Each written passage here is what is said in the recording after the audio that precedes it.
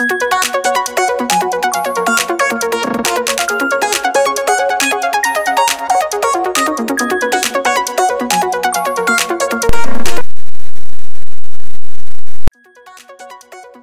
You've reached the end of this part of the journey, but there is so much more. Let's take a look at what lies beyond the bounds of this course. Now, this is bonus material, and as such, it might not be perfectly comprehended the first time through. That's okay, if you dare. Take a glimpse at what comes in this epilogue and look forward to all the mathematics that you have yet to learn.